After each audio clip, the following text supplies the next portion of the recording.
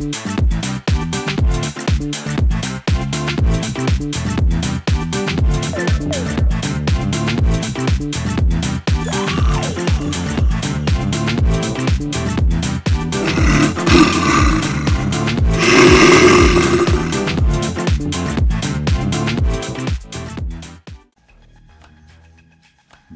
пари од некого, многу пари.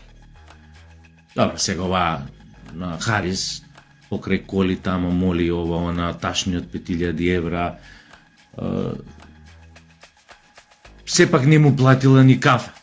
Никојаш за, за новчаник не се фатила. Има тука такви, но цури си ги знаете вие многу добро. Па Пошто кај нас нели важи она правило да бе мужот секојаш мора да плати. окей. Немам ја ништо против, ако има пари, нека плати секојаш. Има и тоа нешто джентлменски, не викам не. Да се работи до односот. Него друго сакав да кажам. А, а тоа треба да го научите од курвите. Зборам сега за овие што се што се фала дека направиле многу државнички чекори за еднината на Македонија, за нашите деца, за едните генерации, дека донеле тешки одлуки, кој оној што збори Евнухот, Евнухон обезмуден. А, Значи, кога добивате многу пари од вашите шугар дедис или спонзорчиња од ЕУ, оние на калето, не знам кој, од тука странски тајни служби од соседниве држави, за да си го предавате народот, државата. И кога ги добивате тие пари со кои што не купувате ташни од 5000 евра, затоа што тоа се пичкин дим за вас, за на жена да им купите ташна, да ја купите од 2-3000 евра, Луи Витон од 4000 евра, не е битно. Вие со тие пари памет звони некој. Вие со тие пари купувате многу појаки работи. Еј, ми се прекина малцева, нема везе продолжуваме. А, значи, вие со тие пари, за тоа ќе вратам, а, купувате плацеви, куќи, вили, фабрики за марихуана, за не знам што, за вамо, за тамо. Значи, многу поголеми ствари купувате. Али замисли, колку бевте глупи, колку сте глупи за разлика од куравите. Вие, наместо ни кафе, да не ги частите тие што ви даваа пари од ЕУ од МЕУ, за да се ја предадете државата, вие им продадовте, им дадовте и име, и идентитет, и Аснумска Македонија им продадовте, и Античка Македонија им продадовте. Све живо им продадовте. А баш тоа не е ни ваше. Значи тоа не е ваше. Замислете сега. Една курава пак не зборам за овие што им е тоа професија, за нив имам многу поголема почит него за овие другиве што се прават чедни светици, девици и така натаму мајки и она, а го прават тоа што го прават и овие вамо, што им е тоа професија. Значи, еј, немате мозок николку една таква курава, спонзоруша, инфлуенсерка, старлета, како сакате наречете. Значи она од незиниот дечко или маж ќе добие ташно од 5000 евра и ни кафе не го части. Ќе купи кола од 30.000 евра, ни ручек не го части. А вие купивте многу поскапи работи, станавте милионери заради ваш поради вашето преда, заради вашето предавство, што го направивте,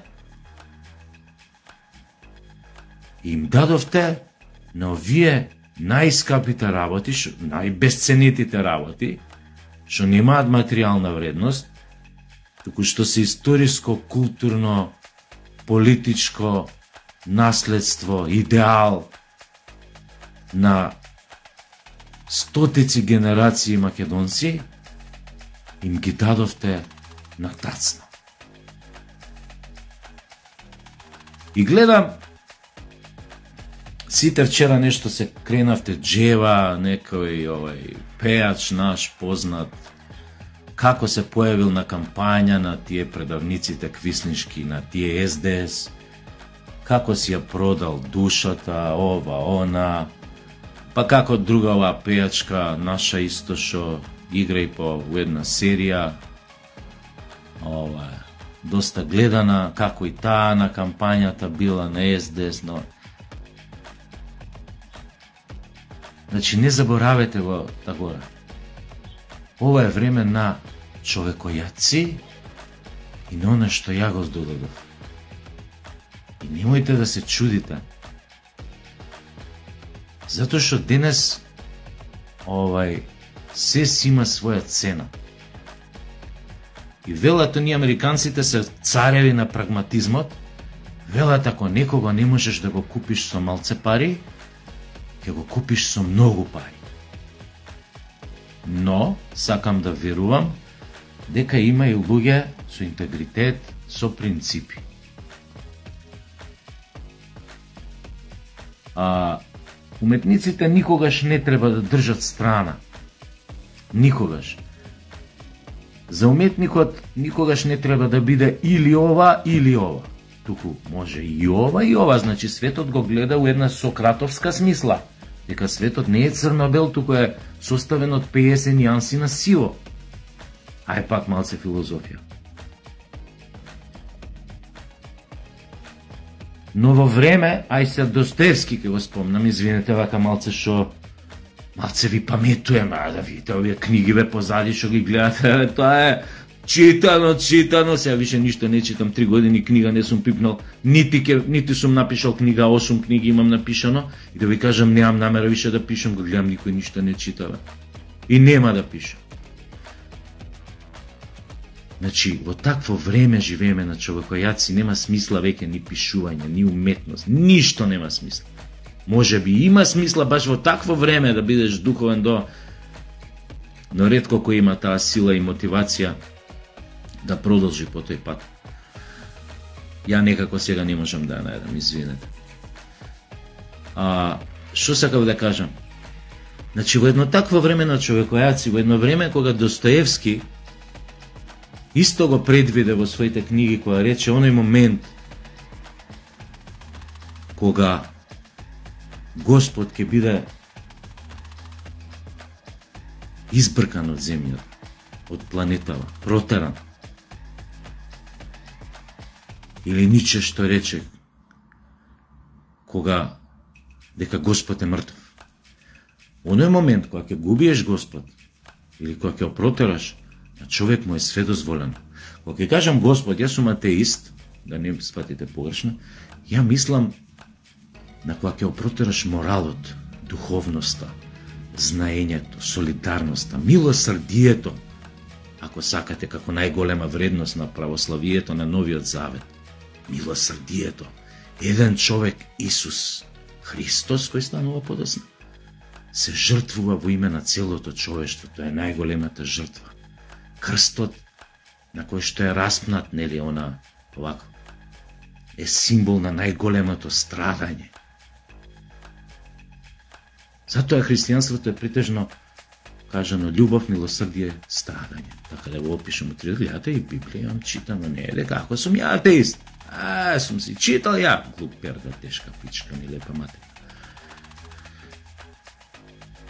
А, кога не успев да направам пари ко Харис, сега ќе си имав такви ко него старлети, Ама ме оставила отишла на скијање со другарки у Боровец или на море у Грција, ме боли пичкава да ви кажам. Битно пак ќе се врати.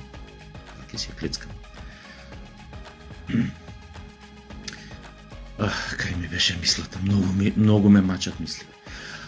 Овај, кој ќе го истерате Бог во онаа смисла, на човек си му е дозволено Затоа во едно такво време многу уметници не само уметници, секој гледа да се спаси како знае. Ја уметниците не ги оправдувам. Ја она што порано сум имал блиски ставови со СДС кога Груевски бил на власт за многу работи кои што биле негативни, тоа мене не ме правеше дека сум член на СДС. Ниту сум бил член на СДС, како што тогаш ме правеа куините нели ВМРО-вски. Како што сега моите ставови се многу блиски до ВМРО ДПМН за клучни работи, но тоа мене не ме прави ВМРО-вец, сум ви кажал.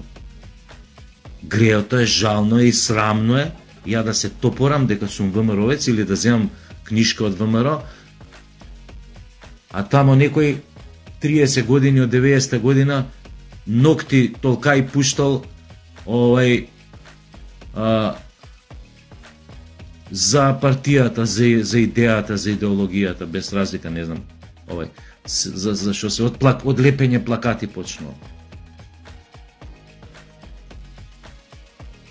Тоа е само момент кај што се поклопуваат а, опозицијските овај не контраестаблишмент ставовите на еден уметник со нормално со опозицијската партија која што сака да дојде на власт.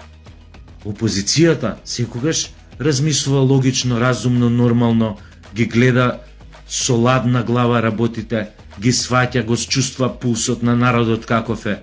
Тоа е логично опозиција е. Работата е како да остане барем приближно таква и кога ќе дојде на власт, да не се загуби. Иначе е логично опозицијата да биде секогаш поблиску до ставовите кон било кој дисидент, наречете го уметник или неуметник. Но, трагедијата на овие, кои што се джавкаше вчера против нив, пеачиве и ова, да.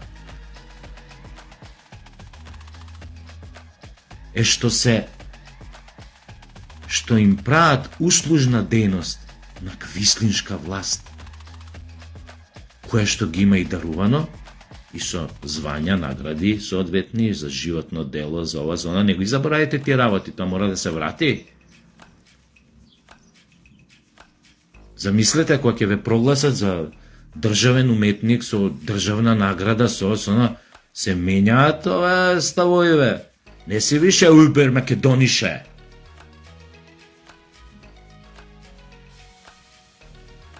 Но пак ќе ви кажам, од друга страна, колку и да ми е тешко, имам време на човекојаци, на курви, веќе ништо не ме изненадува. И најтрагично е што можеш да најдеш оправдување за сите ваква време, затоа што Господ го нема истеране, протеран. Погледнете си ги децата што ги воспитувате, милосрдие нула, солидарност нула, булинзи, мулинзи по училиштата. Професорите, наставниците врзани раце, не може ништо да направи. А тоа е све од дома. Воспитување. Од дома. Не може да си играш со нас, татко ти не ти купил точак од 2000 евра. Или ролерки или Тоа сте. Така ги воспитувате вашите деца да станат утре како стралета на Нахарис. Јебо вас, Харис. Харис се. Ма немаш проблема. Веруј. А пусти кура, јебо мате. Ајде се гледам. Да продолжиме искрено, честно и одговорно. Како до сега. Како до сега? Како и до сега.